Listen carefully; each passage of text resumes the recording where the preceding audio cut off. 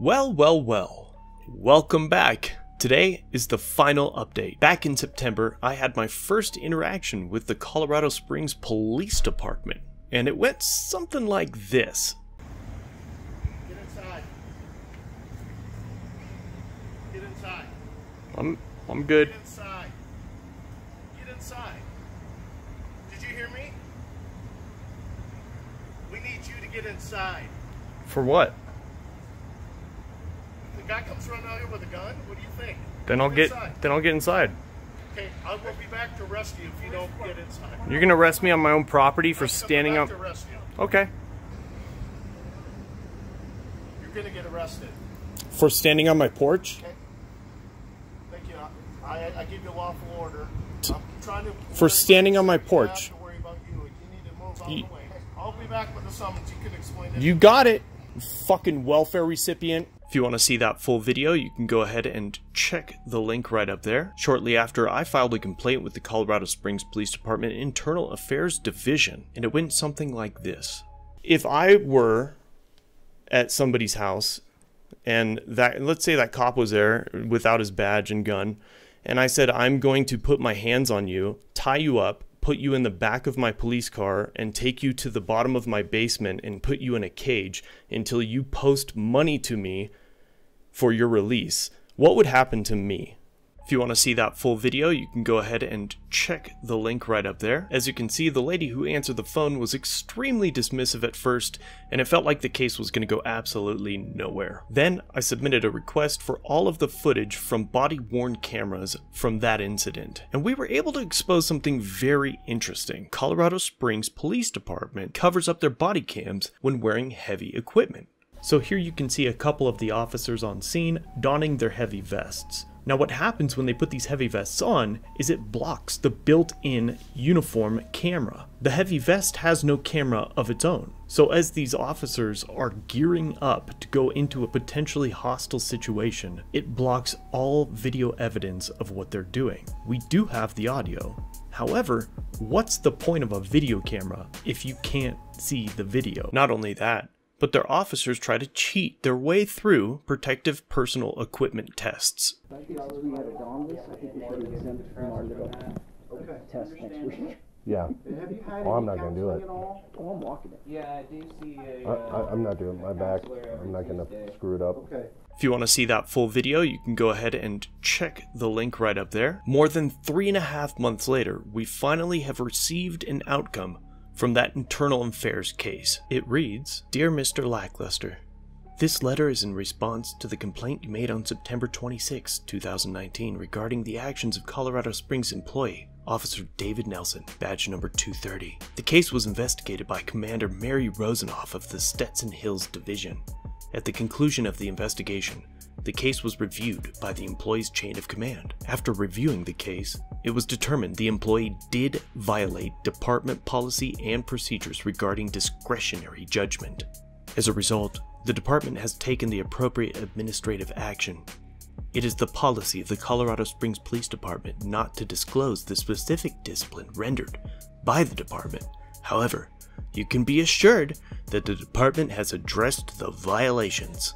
If you have any further questions regarding this investigation, you may contact Commander Mary Rosenoff at 719 444 3152. Sincerely, Lieutenant Raphael Chanza, Colorado Springs Police Department, Internal Affairs Section. So basically, uh, at, at least we have something on record saying that he was reprimanded for violating policy and procedures regarding discretionary judgment. But it is a little irking that they won't disclose to the public what kind of disciplinary action was rendered. As you guys may remember as well, he is the officer involved in the ACLU case, Brown versus Colorado Springs. Why are you pulling me out of my car, sir? Re, re, take your hands off of me. I have not did nothing. I have not did nothing. I have no weapons. I have no weapons. You have no reason to pull me out of the No, no, car. This is assault. Turn around. Turn around. Turn around. You see this?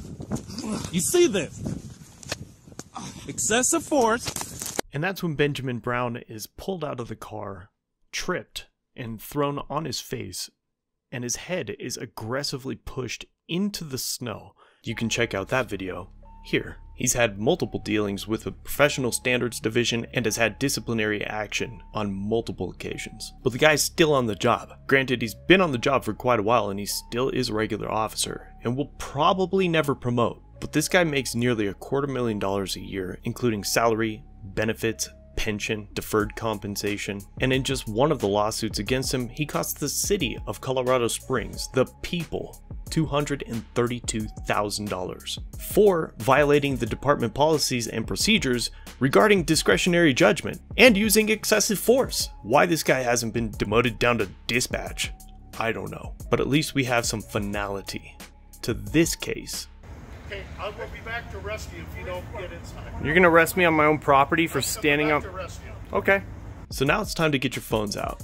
Mary Rosenoff, the commander of the Internal Affairs section, wants to hear from you. Give her a call. Let's see if we can figure out what kind of disciplinary actions were rendered. Now I'm going to play a little bit more video from that initial case, but first, our new segment, you guessed it, review the PD.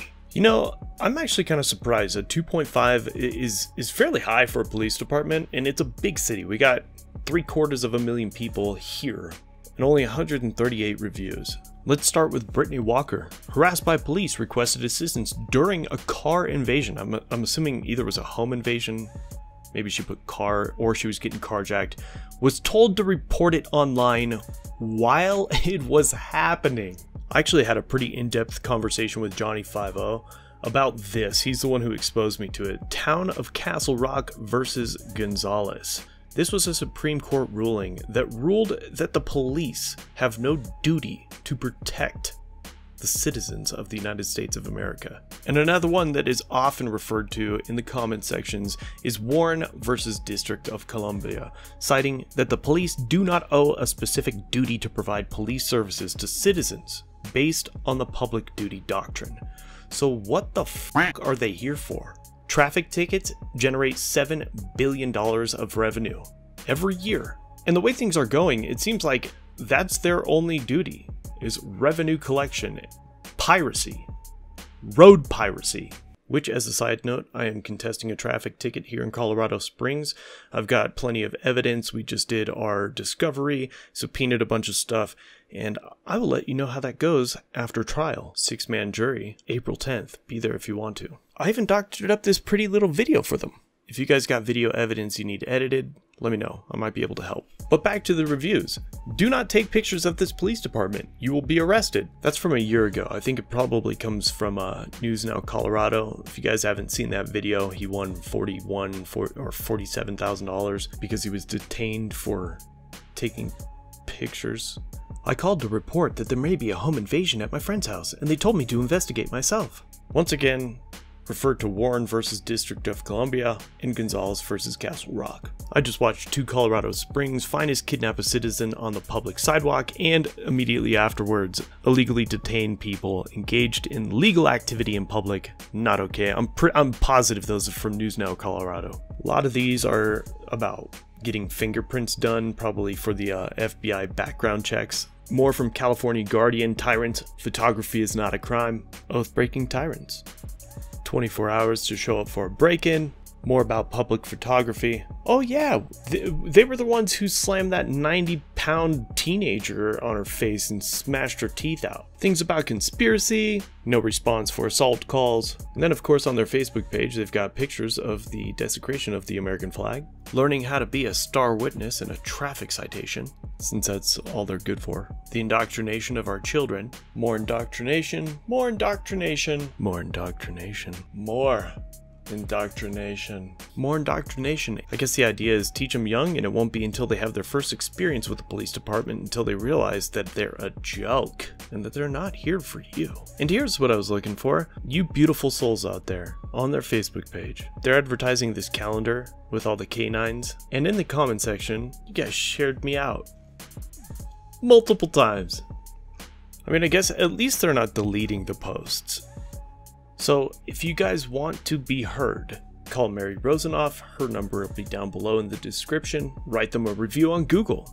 The link is below in the description. Or leave them a comment on Facebook. The link is down below in the description. Also down there are all links to my social media, Patreon, become a member, merch, all of the above. If you're new here, remember to like, share, comment, subscribe, hit the bell notification, turn on the all notifications, and I'll see you in the next one.